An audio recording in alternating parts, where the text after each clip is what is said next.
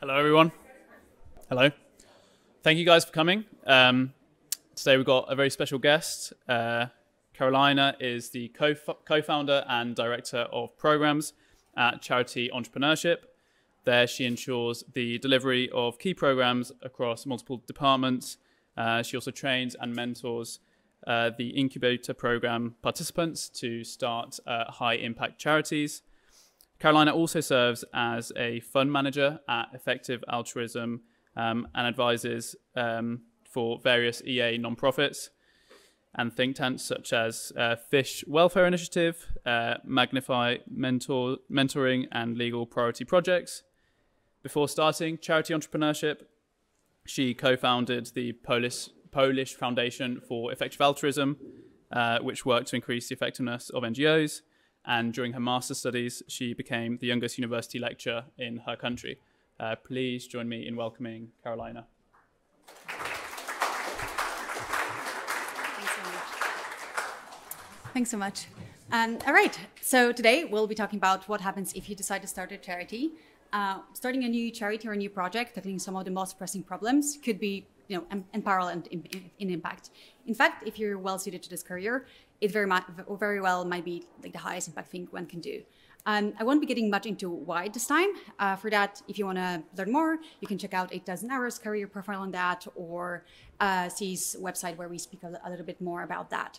Um, but this time, I want to talk about um, what are some advantages and disadvantages of running and starting your own organization? What are some key personal fit characteristics that you um, you need um, to in order to start effective projects and also what are some lessons learned from you know incubating those charities in the past that anyone could pick up for a new project regardless if they'll be starting it through the incubation program or they want to start it autonomously and so for now just imagine what would happen if for example rob haven't started, started Against Malaria Foundation or if will and toby haven't hasn't started giving what we can or center for effective altruism um, so starting stuff uh, that succeeds could be really, really impactful. Um, so, but it's really hard to tell um, if your project is going to be success and what are some predictive factors from early early stages and even if you're in the midst of it you still might not be entirely sure like if you're going the right direction and what the impact is going to be especially for some long-term goals um, what doesn't help is the fact that when you you only hear about charities where, they already get pretty big so like the bigger the charity the more likely you are to, to know about it. So, you know, Against Malaria Foundation, the Humane League, or 80,000 Hours. The bigger the charity, the more likely it is that you'll hear about it.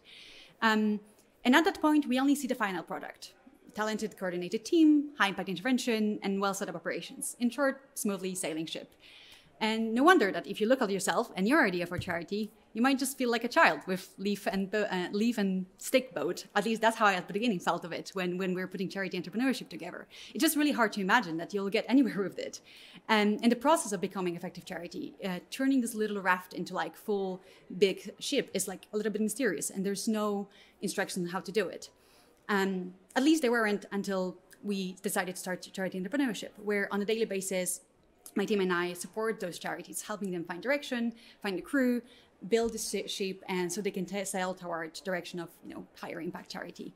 Um, so again, in this talk, I'll be talking about using some examples, some experience from early days, early months, and early years of starting a nonprofit. Yes, I will. I, I will. Um, and the reason I want to take you for is it better? Yeah. Great. And the reason I want to take you for this journey is, first of all, to give you a better sense whether charity entrepreneurship or nonprofit entrepreneurship more broadly is a good path for you, and also to help you um, learn the lessons from those incubating those 18 EA aligned nonprofits over the last three years uh, that you could take for your own projects going forward. Uh, but for those that haven't heard about CE before, just very briefly an introduction, uh, how we work. So first, we conduct basically, we conduct research in variety of cause areas, spending uh, thousands of hours on, on researching what interventions to recommend in a given cause area, taking into account like the impact of the intervention, the size of the problem, but also like is there a gap for a new nonprofit in the space, and so on and so forth. After we kind of uh, select uh, select those ch top charities within each cause area, we uh, seek co-founders for it and help them train them and pair them with each other and with the intervention during two months incubation program. after which those that you know pair together successfully um, and develop good plan receive a C grant, uh, mentorship, and are ready to basically start start their own projects. After which we provide long term support as well. Um, so yes, so today I'll unravel some of the mysteries. and I'll talk about what happens if you decide to start a char- charity. Um, of course, the progress might look very different depending on the charity, and the road is often more complicated than that. Uh, but I want to bring you closer the experience of running your own project. And I'll do it on example of three charities: uh, Lead Exposure Elimination Project, Fish Welfare Initiative, and Fortify Health. Uh, I'll tell you what happens in first days, first months, and first years, and what are some disadvantages, advantages, personal fits, and lessons taken from that. So I'll start with LEAP. Um, our research team identified that lead poisoning is, a pressing and under-researched problem. About almost a million children have toxic blood lead levels that leads to almost a million deaths, uh, imposing also social costs in order of like five to ten trillion dollars annually. Most of that comes from neurological damages um, and losses in IQ, causing income later, uh, losses in income later in life.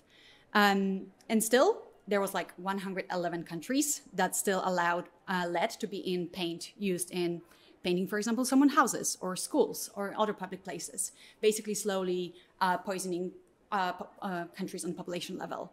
Um, at the same time, there was about $11 million going into the problem at the time, so really tiny amount compared to the uh, global burden of the, of the disease.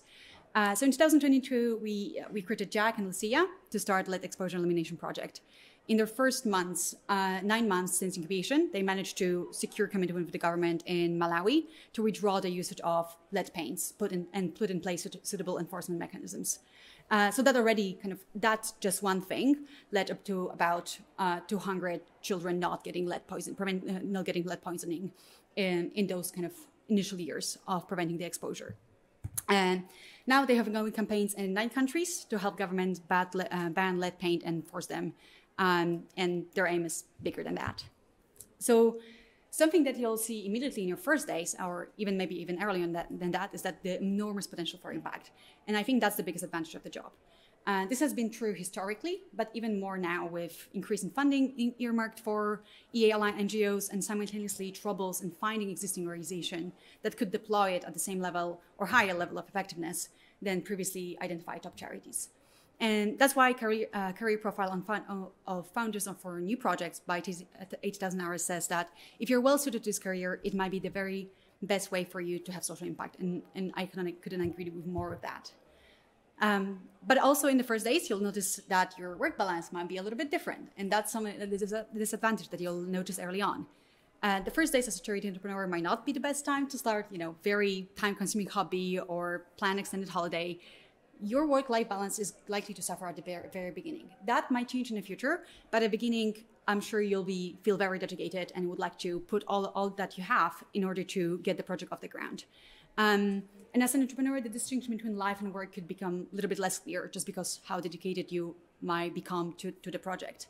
Um, and to use example of, of Leap, um, they have free full-time staff uh, including two co-founders. That's not really big team for working across nine countries. Um, and in each of this, this country, they run pain studies. They meet with stakeholders and decision makers to help them put in place new regulation enforcement mechanisms, as well as, as well with or work with companies to uh, transition away away from leaded paint. Um, you know, the first country visit was quite intense, definitely outside of nine to five work hours, just because you really want to make the most out of it, this short kind of visit that you have. Um, of course, as your organization grows, um, delegation process will also become more established, and you'll not have to constantly, you know, extinguish fires on top of your regular leadership duties. Um, staff will take care of operations, and you'll be able to focus on strategic decisions. Uh, all of this will reduce your workload and stress levels. Leap is also expanding in terms of staff; they're applying very big hiring ground this year. Uh, so this will change, but at the beginning, you'll likely have to put a little bit more into that than you might expect from a regular job. And that's some disadvantage to keep in mind. Um, so what about personal fit? Uh, well, I think that relates well to to the most part, the most important uh, personal fit characteristic, which is being ambitiously altruistic. I know that entrepreneurs love ambition, and it's a very common thing, but it's very easy to be ambitious about the wrong thing. So, for example, if you're ambitious about how big your charity is, your charity might get really, really big, but it won't necessarily do any good.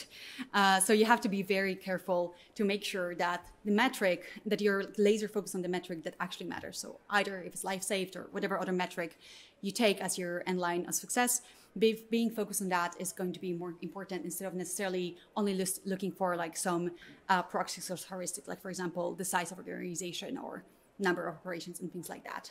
Um, so one of the lessons learned from Leap is that cost effectiveness of your work could look very, very promising even in a small country.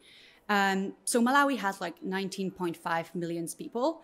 Uh, so it's quite a small country. Um, and yet, when uh, there were some estimates made on their impact of banning leaded paint in Malawi, it came out to be about $12 per DALY averted, or roughly $360 per life saved this is just for comparison, this is comparable to or exceeding comparable charities evaluated by GiveWell, top char- GiveWell char- charities. So it'll be very easy to at that point say like, my work is done, um, and leave all the potential impact on the table. But with such scale of global problems, even if you achieve really high level of cost effectiveness and success early on, you need to basically still you know, be ambitious. You know, there are about 111 countries that still don't have lead paint regulation. So even if you reach that impact early on, you have to think about like the total scale of the problem, and instead of like capping yourself at the beginning of that, trying to tap in into the broader broader impact that is awaiting you to some extent. Um, so a couple of lessons from from them. Uh, the speed of progress with government has been hasn't been a limiting factor, as I mentioned. Nine months to pass regulation in one country this is way shorter than we expected. When we were modeling initially cost effectiveness, we expected it to, to, take a couple of years. So that was a good lesson learned. Um, there are some surprising low-hanging fruits. People are keen to change some policies, and uh, people are uh, you, you will be able to get some people on board with that and potentially achieve some success early on. Um, and also, cost effectiveness can look very promising in even in a small country, but uh, all in all, you could achieve large impact early on, but keep being ambitious not to leave the impact on the table. That's kind of the more most important lesson I think we take from from Leap example. Um, okay, so you survive your first days. You know you can have impact and need to be ambitious. Great. Uh, what's awaiting you in your first months? Um, I'll tell about that an example of Fish Welfare Initiative. Just as a background, uh, fish is one of the most numerously farmed species. Uh, on top of their scale of the scale of the production, um, there's also welfare concerns, like numerous of them, like poor water quality, especially dissolved oxygen, or high stocking densities, high disease and mortality rates, behavioral restrictions, all sorts, uh, so lot, lots of things like that. Um, and yet, when we researched that in 2018, there was no organization focusing singly on uh, addressing this problem. On top of that, uh, majority of fish were in the countries where on, farm, work on farm animals organization was almost non-existent and farming practices and leverage points that were working in, for example, US or Europe, weren't necessarily working in India. Uh, where uh, organizations or, uh, or, India or Philippines or Indonesia, where organization like that could, could have the highest impact. Um, so in 2018, we, uh, in the first ever incubation program, Tom and Haven decided to start Fish Welfare Initiative. They mainly work in India, as I mentioned, but also do starting to set up some groundwork in Philippines and China. And since then, you know, FWI had made significant progress, secured first ever corporate commitment for fish, uh, built a effectively working team, um, directly impacted already hundreds of thousands of fish and over a million of um, and improved lives of over a million shrimps, um, and so on and so forth. Uh, and only two years after inception, giving what we can, also listed FWI as top donation recommendation. And most importantly of all, in those three couple of years, they learned a lot about and help uh, right now are helping others how to get faster to the same spot that they are right there right now. So in the first month, you already start building skills. This refers to both the abilities from, you know, that you acquire from a working a job that could be cross-applicable to other careers, particularly careers focus on having an impact. So if credentials are the tools to get you the job, the skills are actually the things that will help you to be very good at that job. And because the job is challenging and it has a variety of tasks, um, you have to learn a lot every day. Um, so, for example, take FWI. When they were starting up, they didn't have that much knowledge. Both Tom and Haven were jumping to entrepreneurship straight from their undergrad, uh, undergrad degree. Tom in philosophy, Haven in computer science. Not really a background that you expect for people running a fish welfare charity. Um, but what was really great is that they were keen to learn and they learned quickly. Uh, so even though they didn't have any formal background, they were able to catch up and right now are learning this great organization. Um, so in the first two months, they, um, you'll learn tons about actual subject matter and about management. Um, this knowledge is highly relevant to help uh, one of the most neglected species, but also is very transferable to other careers that are really important. So when I asked Tom and Haven what were some of the key things they learned in the first years, they said things like how to build a system, a systematic decision-making process about, or how to not spend way too long on every project and keep yourself accountable, or how to receive feedback and how to know which feedback to ignore, because that's also a very important skill. Um, all of that very important and, and, transferable. Uh, so all of this was necessary because the work uh, and the environment they, they worked in was very, very complex. And this is a little bit of a advantage, uh, disadvantage of, of working in kind of, um, when, when you're working on pioneering a work in new field. There's just not really made, made solutions. Um, and not all of that you can learn from just desktop research or previous preparation. Um, so one of the lessons learned from FWI is understanding that there's a very big difference between what is theoretically most important, what is practically most important, and what is actually feasible. Um, I'll give an example in a second. Uh, but what desktop research showed to be most important for fish welfare and what is the most effective way to achieve that won't necessarily correspond to the real problem. For example, when they visit a fish farm, um, the root of the problem might lead somewhere else. On, on top of that, maybe it's just not the most feasible option uh, because there are multiple limitations of that. So there's a limitation of desktop research and one of the first lessons is to uh, when you're starting a new project is like try to get on the ground as soon as possible to uh, challenge your assumptions and to test your assumptions so instead of when you're nav- navigating your ship instead of for example thinking about it as going from problem to the solution like for example fish have low dissolved oxygen level in water well i'll go to the farm and give farmers aerators to give more oxygen problem solved you might think but the reality, of course, is much more complex. And the process of that looks more like that, where you basically have to, you know, work from uh, a problem, then assume uh, or state some hypothesis about that, test it, and then very likely you'll have to come back. Well, to come back to the problem because maybe you even conceptualize the problem in the wrong way and then you realize that when being on the field and then you have to state new hypothesis and test it again and if you're if you're doing it well and you know you have strong feedback loops uh, eventually you would hit something that you'll be able to execute and you'll start executing it'll be going great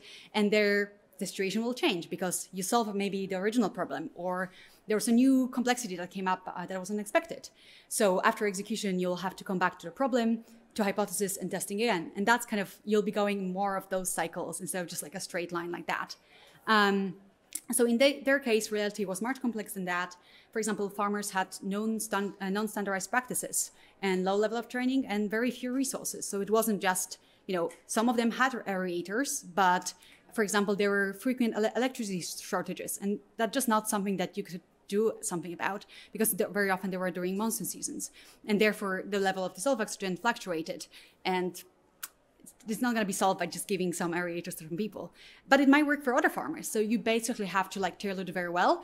And, and at the same time, you have to think about this, uh, your intervention being very scalable. So there's some trade about how to tailor it and how to make sure that it's scalable. Um, so that's kind of first complexity. Other things where like production was dispersed across many individuals. It wasn't like centralized farming practices. Uh, farmers were not affected by common leverage points. Um, and many improvements risk pushing industry to, toward intensification because if, for example, you improve water quality but don't keep stocking density low, farmers can just like farm more fish uh, per each farm. So you have to balance that as well.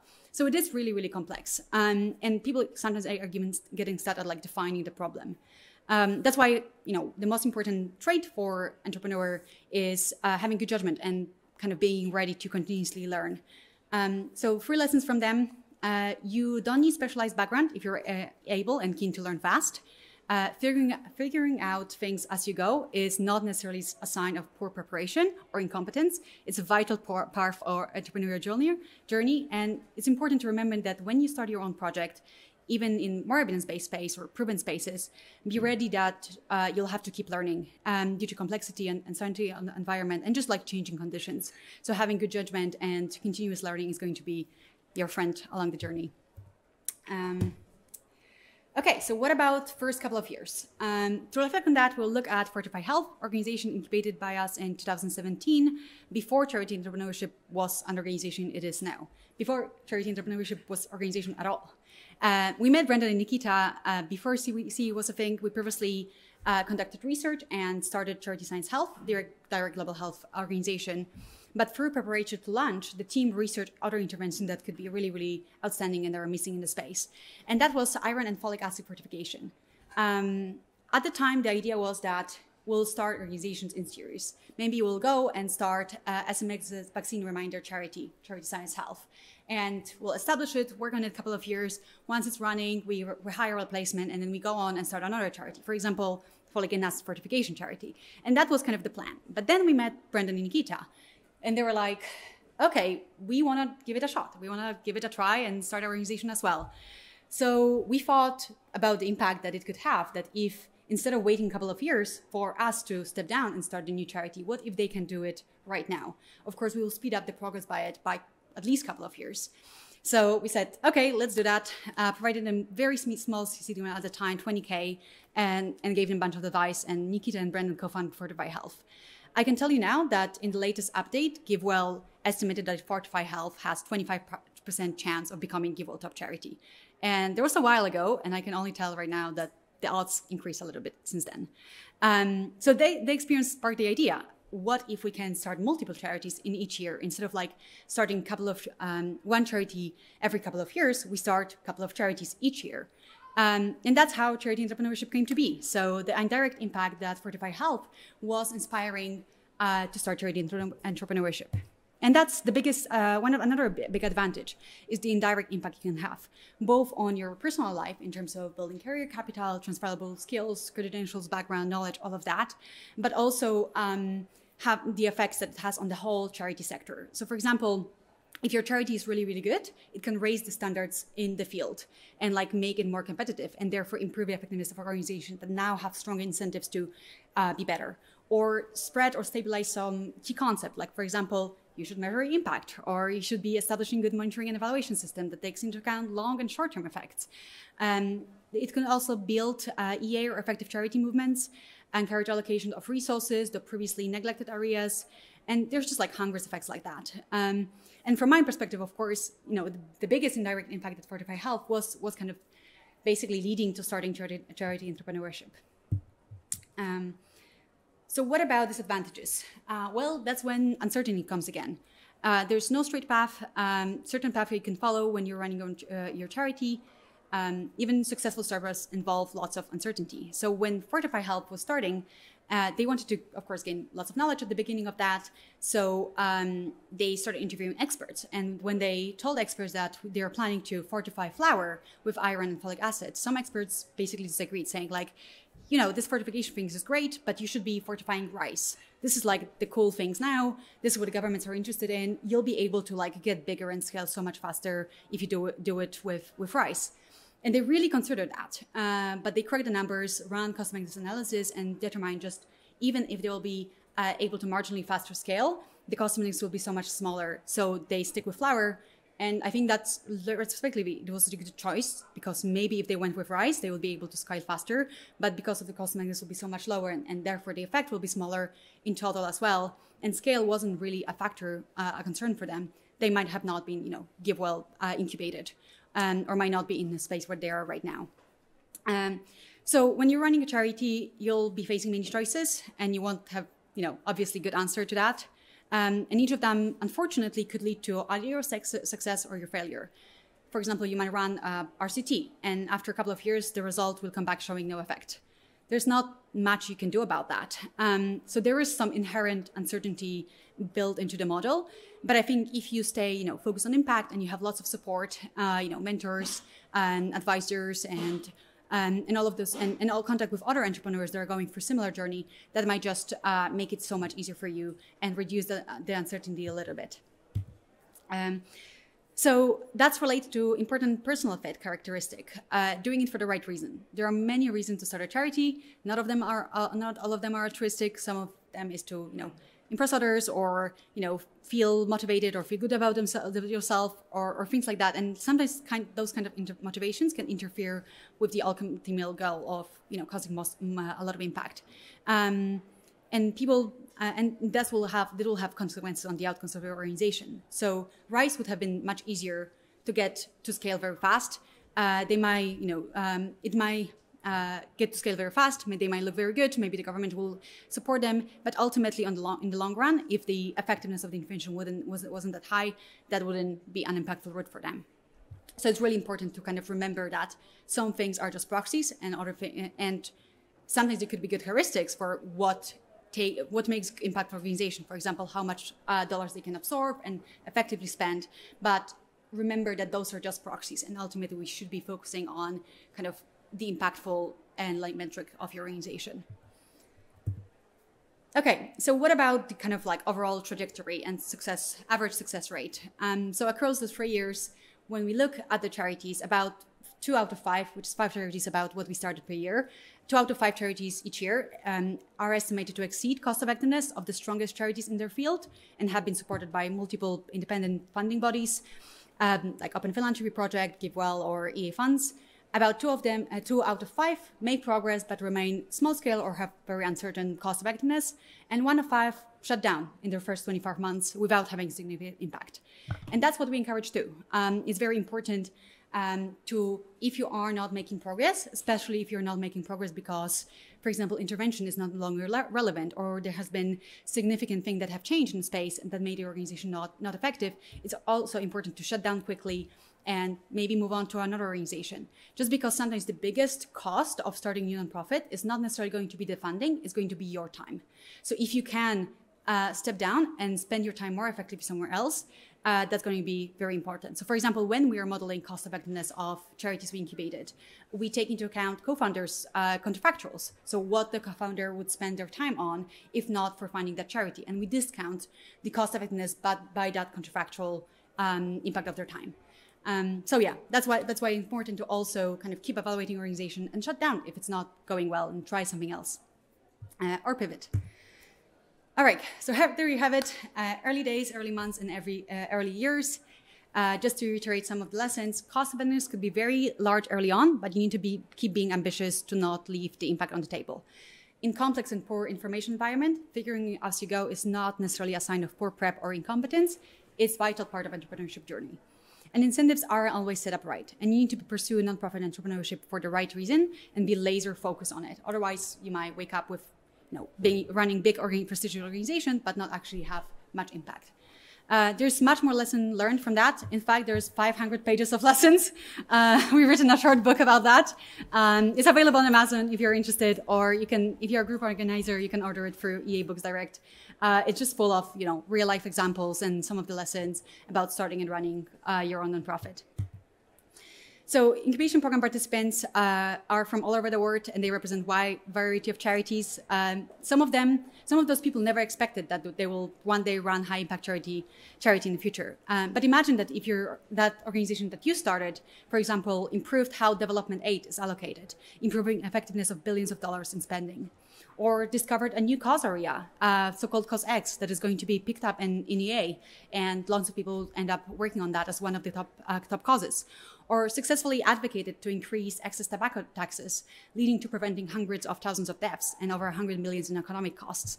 Those are some of the organizations that we would like to um, start this year. So if that's something, if that sounds like something like you would like to do, uh, let me know. We are looking for, for people to who are keen to start those charities in this upcoming summer program. Um, if you're still wondering if you're a good fit, I recommend taking a very quick quiz on our website. We basically designed it to make it, it takes like 10 minutes or less, uh, and we designed it to help you make decisions about if, if the entrepreneurship is a good pathway for you.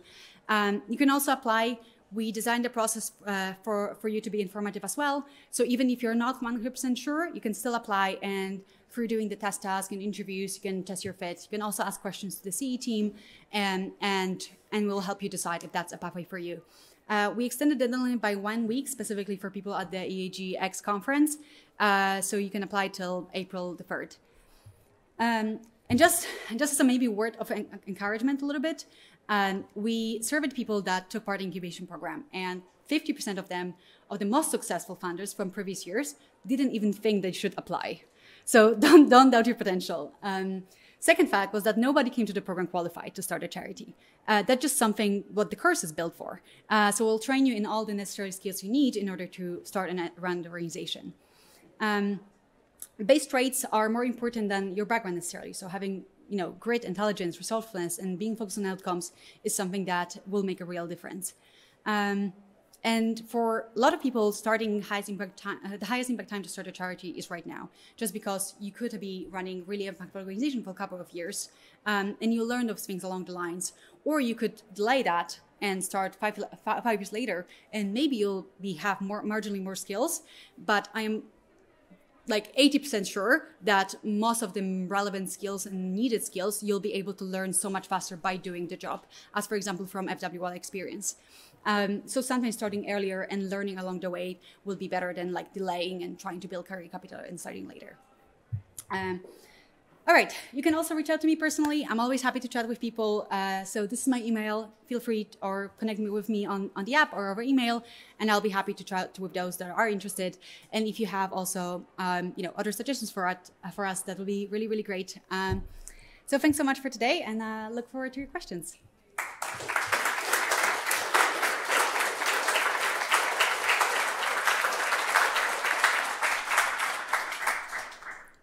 guys, can submit questions uh, through the app. You can go to swap cards, click on the event, and on uh, live discussion, submit questions there. Um, but yeah, while those questions come through, feel free to also put your hand up and ask some questions to Karolina. Um, so yeah, opening up to you guys. Do you guys have any questions? Um, so like, it seems like one of the ways to sort of test out your fit is go through the interview process. But uh, are there like possibilities for rather new charities, do they ever like take up new people to them so you can experience the field? Um, Yes, definitely. So a lot of the charities started through our incubation program are hiring and they're growing fast. So there's basically at any point moment in time there'll be some organizations with open roles uh, that people can apply for and, and join the incubation program. One thing that we do throughout our application program as well, if someone apply for the incubation program, and for example they might not be the best time for them. They have really big, good potential but maybe it's a little bit too early for them. We also let them know about that and then we can we refer those candidates to existing organizations that we think are will be best fit for them specifically to train up in their skills. So maybe for example if they need some a little bit more um, I know they want to test how comfortable they will be in like living, for example, in low or middle income country. Maybe we'll recommend them to work with Fish Welfare Initiative that works in India. Or maybe if we think that they could learn some management, maybe we'll uh, recommend an organization that is like uh, looking for uh, people helping helping with them managing the team or operations. So we kind of tailor that as well. Um, but if not, on our website, we in, in charity entrepreneurship in our job. Um, kind of section we also list jobs open right now in the organization we started so that's also an option uh, a couple other hand up questions, so we can go to live discussion. Cool. I'll ask, I'll ask a couple of questions that come through. Um, is entrepreneurial drive uh, attraction to being a founder slash starter for its own sake uh, part of personal fit? Mm-hmm. Mm, I think that drive is something that you will likely develop and something to some extent that that you need in order to do that. However, you don't necessarily have it from the very beginning uh, you might be, for example, when I was starting out, I was like very, very, very excited about uh, improving like big NGOs and big foundations. And, you know, I, I had a kind of thought that even if I improve effectiveness of like very large foundation, even by, by just 10%, uh, because of the scale of their operations, the impact will be really, really large. And that's something I was very, very motivated in. Um, and then Joey and I had like like really long debates, like months long debates, whether it's better to like improve existing organization or start new ones. And well, he won the debate, and so I moved to Canada and we started charity entrepreneurship. And over time, I got really just very very excited and driven about early stage nonprofits and helping them you know start and grow and everything. So drive, I think, is something that you can also develop. You don't have to come with it at the beginning, especially drive for a specific charity. You just uh, you you will just learn to love your the, the thing that you do. Uh, so I do think drive is something that is helpful for sure. Um, it also has some disadvantages, you know, work-life balance. You have to manage it well, things like that. Uh, but I think you don't have to have it from the start. Cool. So we've got an interesting question. What's the difference between a charity entrepreneur and a social ent enterprise entrepreneur? Yeah. So the kind of the fundamental things difference we see is that charity entrepreneur maximizes just one outcome, like number of life uh, life saved or uh, things basically just um, metrics focus on the impact of organization whereas social enterprise has to maximize for both the impact but also for the profit uh, in order to help them grow so because of that single difference in model uh, of course you you might be uh, able to like make smaller progress uh, if you're maximizing for a couple of outcomes instead of just singly hand, uh, focusing on one of those. So that's kind of fundamental difference in the design of those things um, that will lead to further consequences. So for example, you might be able to reach scale faster with a social enterprise, but your marginal impact might be a little bit smaller. Versus if you, for example, start with uh, your focus on charity entrepreneurship itself. Uh, that might also be different according to cause areas. So, cost, some cause areas have more funding available for early stage nonprofits. That's certainly true for, for example, farm animal welfare where if you're doing impactful work, uh, you might you will get funding for that support for, for that work as well. So it's not necessarily going to be you know a stopping point for your scale. Uh, so I think there are just some differences that comes from that very basic differentiations. But my sense is that because by the fact that you have to maximize for two outcomes, you often will have to uh, sacrifice on one of those, and very often, or even if not, and the impact of that is going to suffer for that. That's why kind of we decided to uh, specifically focus on nonprofit entrepreneurship, especially uh, if funding is not a constraint for the charities. Interesting question now. Um, if you do not get into the bootcamp, are you still encouraged to work on a CEA curated topic, or are you then uh, mostly competing with bootcamp participants? Yeah, that's a good question. Um, I think like competition in the charity space is a good thing uh, just because if there's more people to some extent working on the problem, then there are like better incentives for other to get uh, to be better at it. There's also sometimes a luck factor that comes to entrepreneurship, just something that is outside of your control that will make some charities impactful and not others. Um, it could be like something that you cannot predict. So in a way, uh, that's why kind of starting more nonprofits is also like just on aggregate maximize the chance that some of them will hit really high impact. And with this case specifically, there's also, of course, cons to that. So if, for example, the space is low in funding, you might indirectly compete, compete for something like that or for talent or for funding, and that, that might hinder your progress. Um, I think that will depend on the case by case basis. I would probably more recommend people to ask for feedback, uh, get basically uh, get a little bit more um, trained up or experienced in that area, and then reapply and start that nonprofit again. Uh, try to start a nonprofit, uh, unless you feel that you know you have already, uh, or you might not have the ability in the future. Then you can just chat to us personally. You can say that oh, you know I'm still interested in starting that. Uh, maybe we can then discuss it one on one and see what's best for your your uh, for you specifically. Cool. So we got a question. Um, do charity entrepreneurship do any long-termist projects, um, or is it mostly just animal welfare and international? Yeah. So historically, we focus mostly on farm animal welfare and global health development, but also not necessarily just from like very near-term perspective. But so, for example, things uh, charities that are working on improving policy are a little bit more speculative. Also have long-term effects. For example, if they do you know put that in place.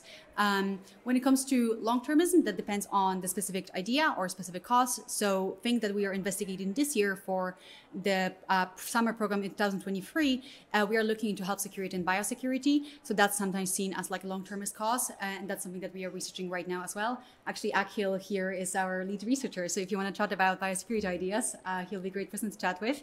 Um, so that's kind of like what, what we have planned for the near future in terms of long-term causes. Uh, we we are not planning to investigate other long-term causes at the moment. Cool. So I think that's it from the live discussion questions. Does anyone have any other burning questions? Um, cool. But actually, I just posted like one final question in the last discussion. I was just going to ask you, what do you think of first gaining experience in the for-profit entrepreneurship sector, and then afterwards, like a non-profit? I guess it really depends, as you said, on what your intentions are, what you're trying to achieve. But what's your take on that? Yeah, so I do think kind of generally entrepreneurship learns uh, teaches you some skills that are going to be applicable in nonprofit entrepreneurship as well. Uh, it sometimes also teaches you a little bit bad habits that they will have to be unlearned later on. Uh, so that's a little bit of a con. Um, some of the people that started charity with us have uh, a background in for-profit entrepreneurship uh, in the past, and that has been helpful for them uh, to in founding a nonprofit later on as well, just because some things are like management or you know accountability, things like that are transferable.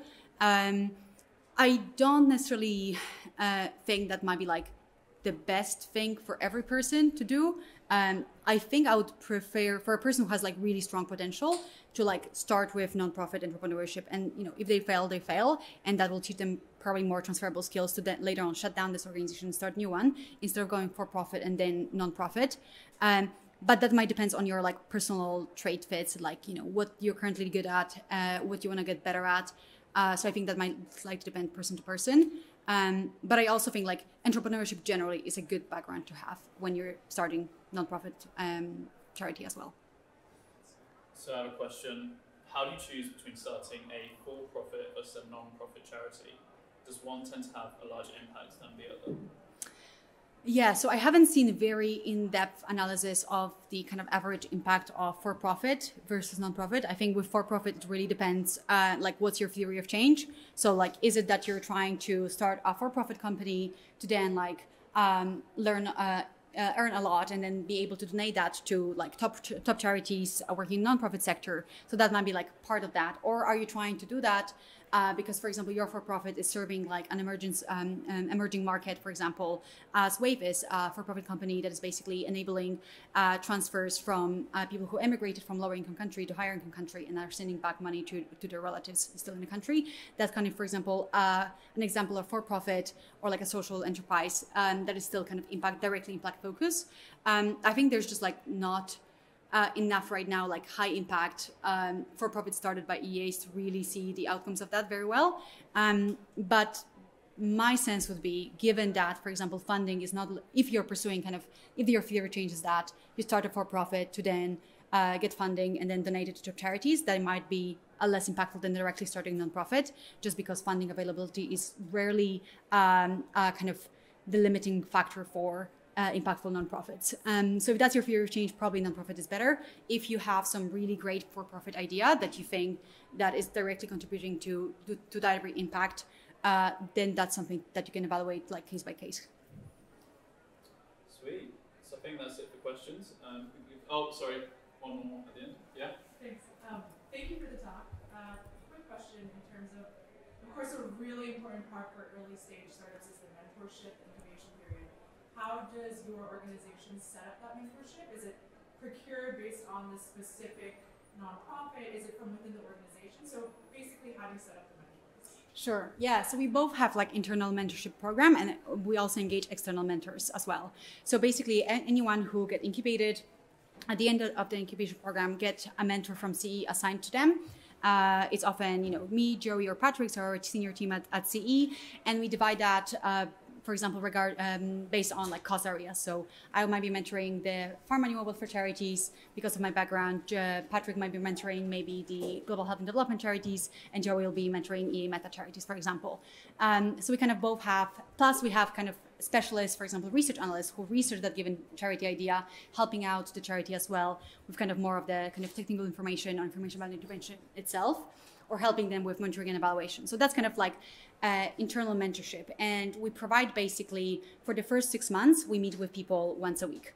Um, so every week we have a chat with them, talk about you know what is the most challenging for you this week, what is the most exciting, how can we you know, make it better, answering some quick questions and helping them uh, at the beginning in more intense manner. And then we go down a little bit. Maybe instead of meeting once a week, we meet with them once a month.